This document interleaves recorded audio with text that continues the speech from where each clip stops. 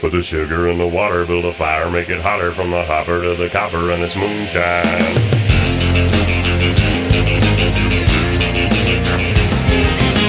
Early in the morning, take a little sip, an afternoon pull or a late night nip of moonshine.